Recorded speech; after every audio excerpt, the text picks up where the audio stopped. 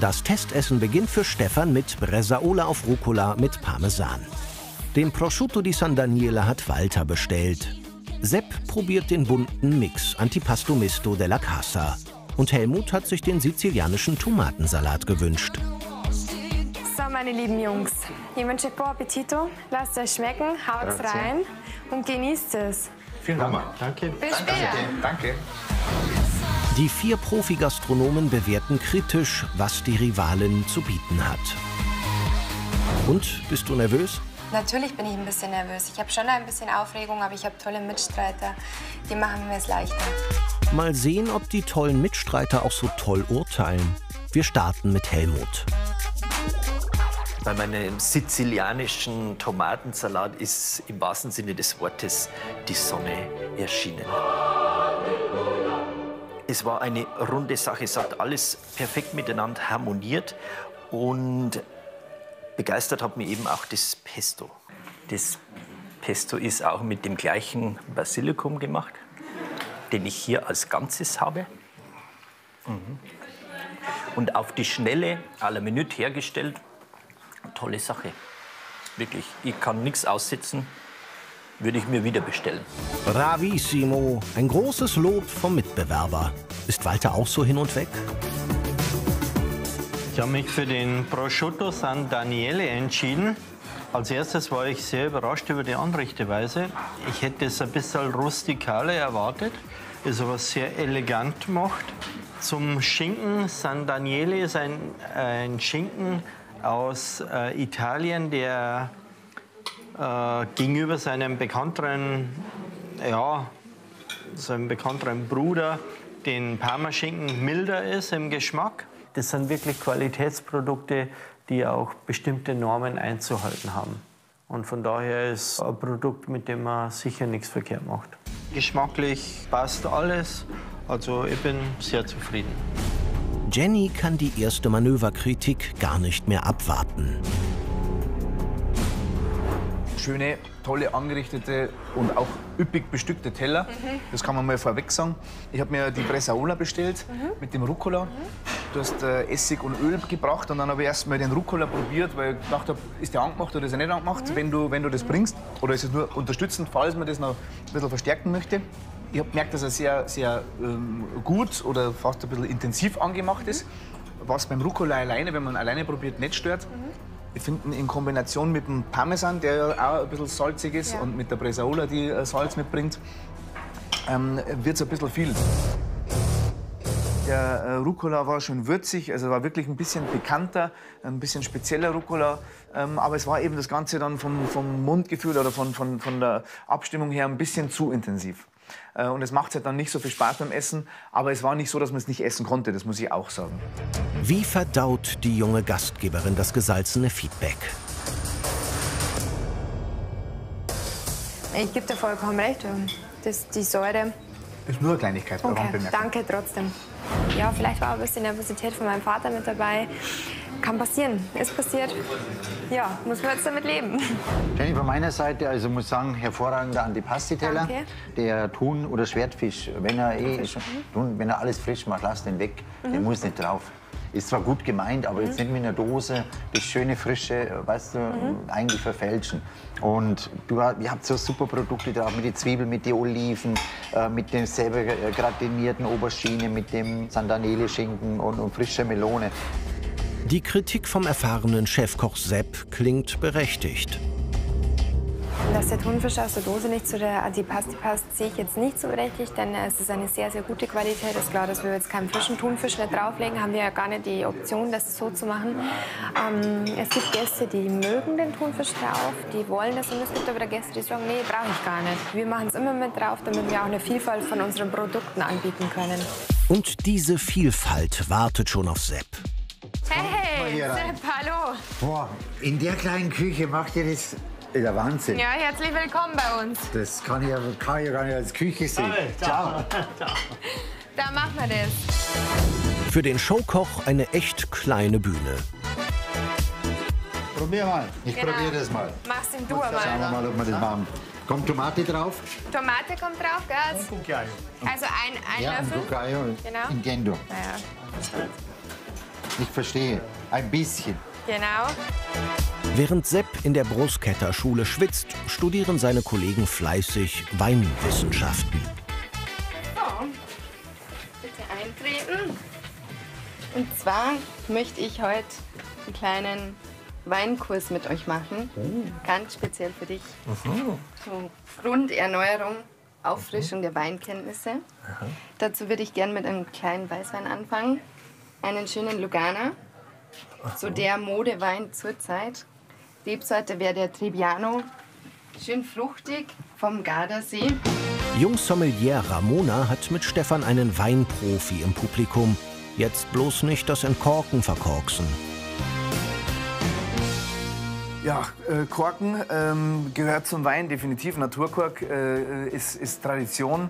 Ähm, Plastikkork ist verpönt, Schraubverschluss ist. Plastikkork ist einfach nicht sexy. Das ist einfach so. Der ist, da will ich gar nicht mehr drüber sagen. Ja, dann sag was zum Wein. Am Anfang habe ich was sehr Mineralisches in der Nase gehabt. Das verliert sich aber jetzt, finde ich, ein bisschen. Jetzt kommt eher ein bisschen was Intensiveres, Fruchtigeres durch. Ähm, ist angenehm. In der Küche brilliert Sepp mit seinen Backkünsten. Also die Birne macht jetzt an. Ja. Der Sepp schon mit drauf. Sepp ist ein Naturtalent, also kannst vielleicht bei uns auch anfangen, Sepp. Okay, bin für alles offen. Bist ja alles offen. Ja, der Mann hat schon mal den weltgrößten Zwiebelkuchen gebacken. Was soll da schon schiefgehen? Jetzt wird schön der Gorgonzola auseinandergerissen und wird auf das Dinkelpanne verstreut. Grazie. So. Kommen dann noch irgendwelche Gewürze oder Nein, oder sowas? das passt. Das so. jetzt, und das wird jetzt in unseren Grill geschoben. Und, und äh, wie war das? Äh, drei Stationen, Auge, Nase, Mund. Ja, zuerst schaust du den Wein an, ob so. klar ist, welche Farbe das er hat.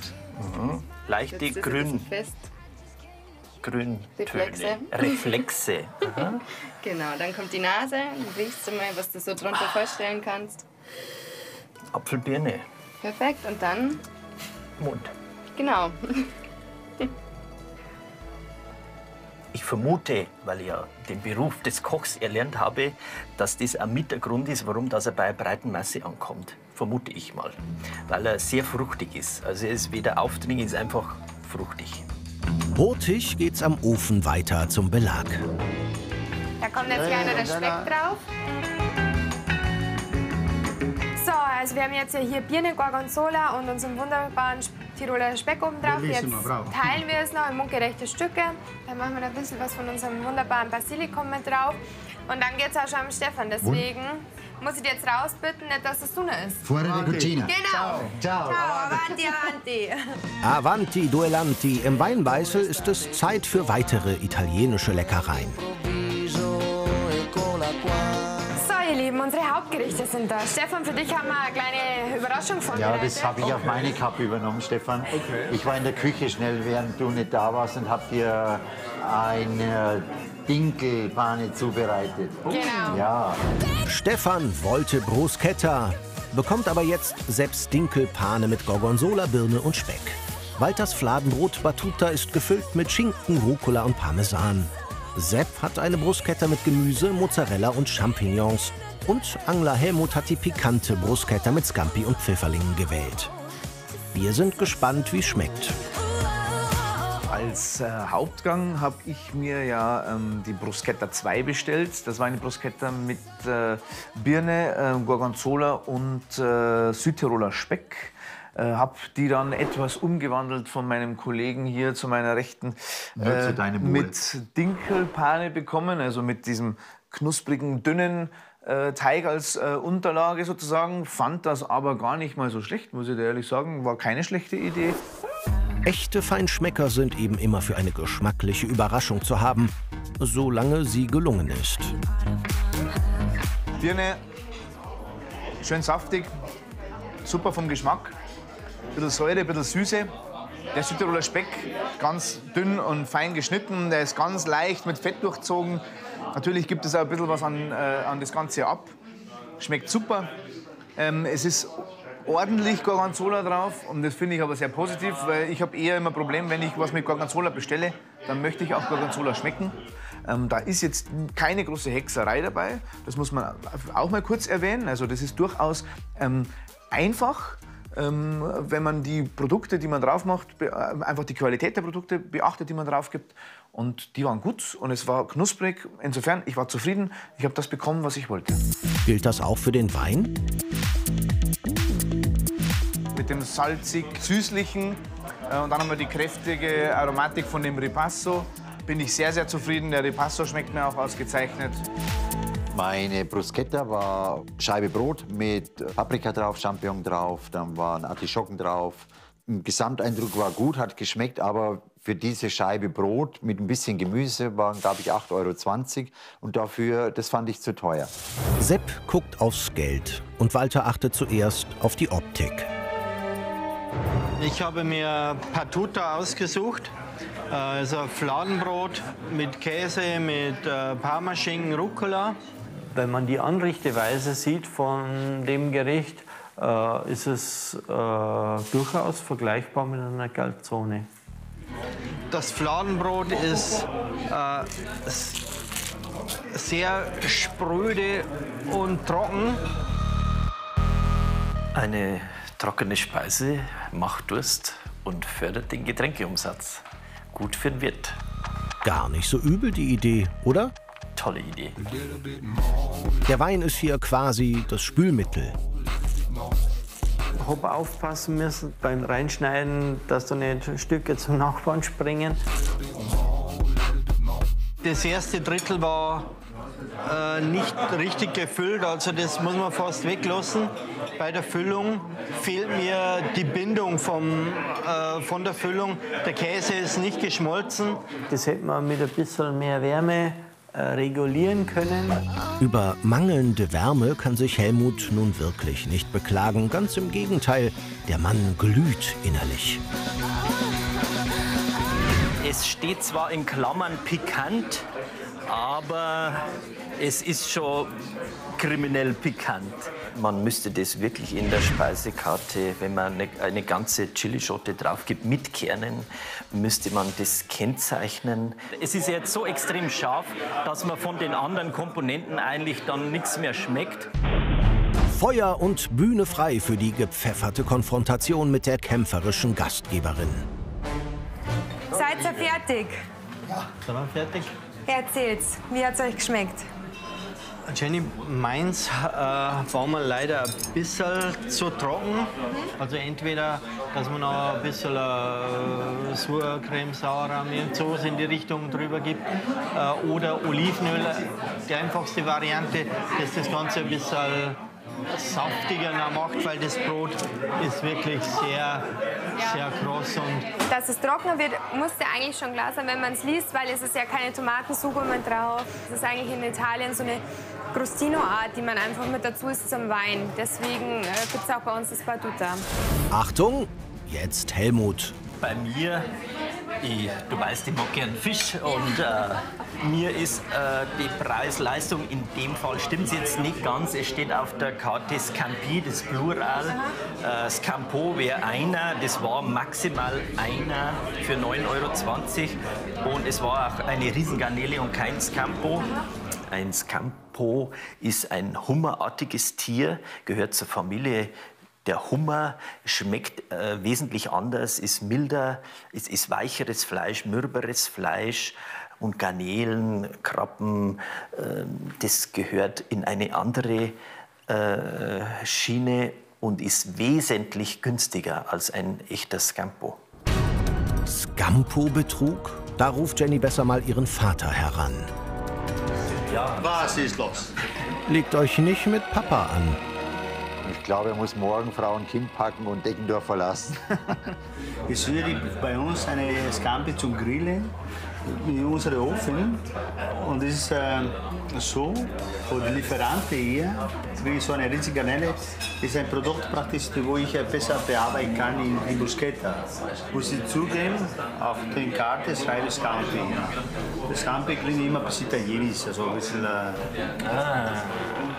weiß ich das nicht mutwillig. Das ist einfach, weil ihm der Begriff selber nicht so ganz geläufig ist. das auch äh, die Feststellung machen, dass das landläufig oft als Campi bezeichnet wird, Ja, obwohl es genau. keiner ist. Ne? Seine Kritik äh, lag er sicher nicht, nicht falsch, aber ich glaube jetzt nicht, dass das Ganze so heiß gegessen wird, wie es gekocht wird. Scampi, Scampo ist für ihn ein leichterer Begriff als auch äh, jetzt Riesengarnele. In Deckendorf im Brusketter Haus, die frischen Scampi müssen raus, damit in dieser kleinen Stadt. Die Garnele keine Chance hat. Ich hätte Erwartung, gerade in einem italienischen äh, Lokal, dass, dass dann das Richtige ist, weil das ist ja was, ein Scampi ist ja was Italien. Isst man ja gerne. Skandal!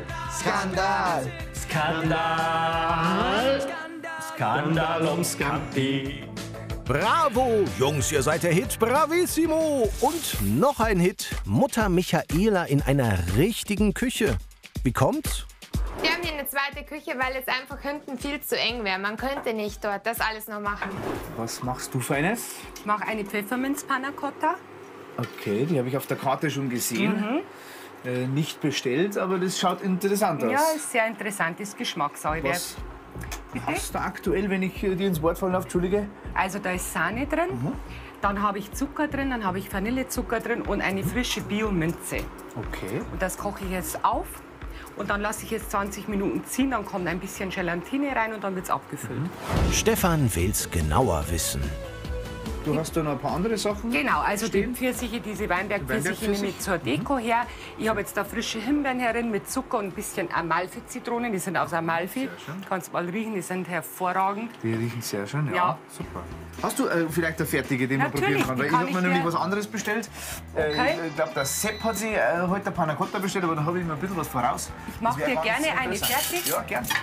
Oder sieht man die grüne Farbe, wie du Genau, so Genau. richtig schönes Pastellgrün und das ist wirklich diese Minze von unserem Biobauern, die ist wirklich hervorragend. Und dann kriege ich dir ein bisschen eine Himbeersoße dazu.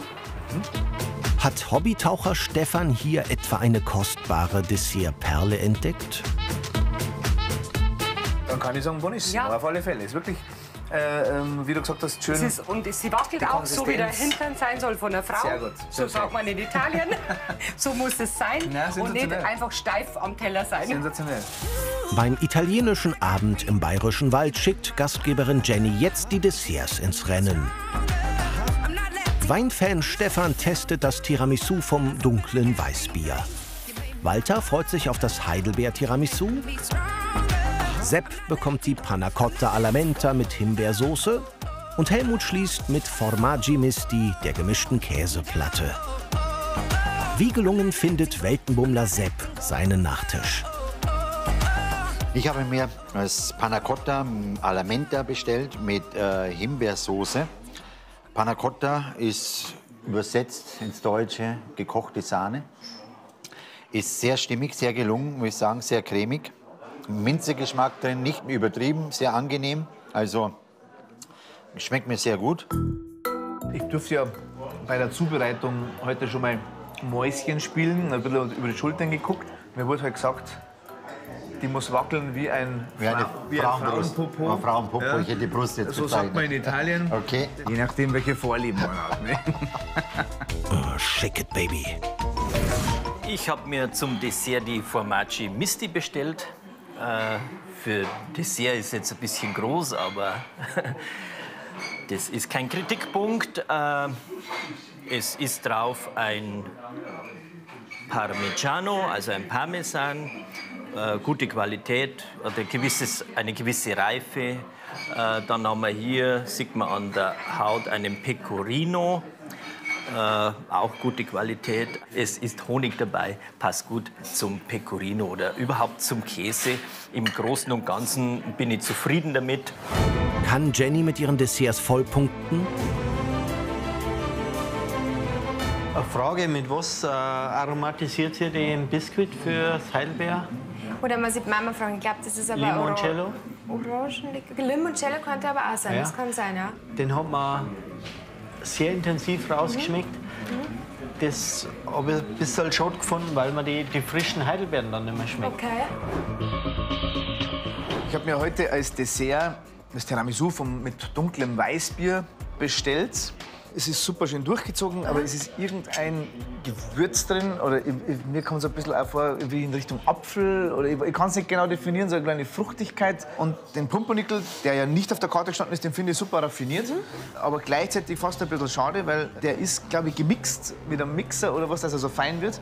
Und das, das komprimiert den, das drückt den so zusammen, dass der ein bisschen ungut zum Beißen ist. Oder dass der also einfach ähm, ja, ein bisschen kauig wird, sag ich jetzt mal. ist, ja. Also was ich ein bisschen schade fand, ist, dass äh, man das dunkle Bier, also dunkle Weißbier, nicht wirklich rausgeschmeckt hat, also keinen malzigen äh, äh, Geschmack äh, erkennen konnte. Äh, und der Pumpernickel obendrauf das Ganze eigentlich vom Mundgefühl und vom Geschmack eher schlechter gemacht hat. Ähm, das war so ein bisschen ein Wermutstropfen beim Dessert bei mir. Kommen wir zum Rest vom Test. So, dann haben wir hier die Rechnung, Jungs. Hoffentlich keine böse Überraschung. Dann sehen wir uns zum Zahlen wieder. Danke dir. Bitte. Quanto costa? Was kostet der Abend in der Bruschetteria namens Weinbeißel? Also als Gesamtbetrag haben wir 214,50 Euro. Wir haben 125 Euro ungefähr Speisenanteil. Ich finde es sehr gut, dass in einem Gastronomiekonzept, bei dem es eigentlich hauptsächlich um Wein geht, einen Verzehrbon von 30 Euro pro Gast generieren kann. Gell, und das bei drei Quadratmeter, das ist ein Wahnsinn. Das ist gigantisch. Ja, das ist toll. Für dieses Ambiente passend, als Resümee jetzt gesagt, würde ich sagen, Preis-Leistung absolut in Ordnung. Wie viele Punkte hat das Lokal verdient? Uiuiui, ich weiß gar nicht, wie viele Punkte das wir heute bekommen. Vielleicht wäre es schön, dass ich von jedem acht bekomme. Jeder Rivale kann maximal 10 Punkte spendieren. Der Jennifer gebe ich für den heutigen, doch sehr schönen, tollen Abend eine 8. Und du, Sepp? Acht Punkte.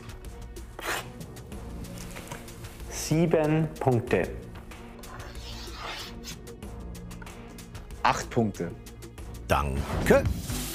Mit 31 Punkten liegt das Weinbeißel wie die Knödelwerferin auf Platz 2 hinter dem Weingut. Und morgen gibt Walter alles in seinem Traditionshaus Feicht. Und ich werde ihn jetzt testen, wie er mit Umbestellung umgehen kann. Ist das möglich? Ich bin gerade ein bisschen verärgert. Mein Gott, Walter. Ich hätte mich gerne mal mit dir über mein Essen unterhalten. Durch die Bank, alle Komponenten waren sehr lasch.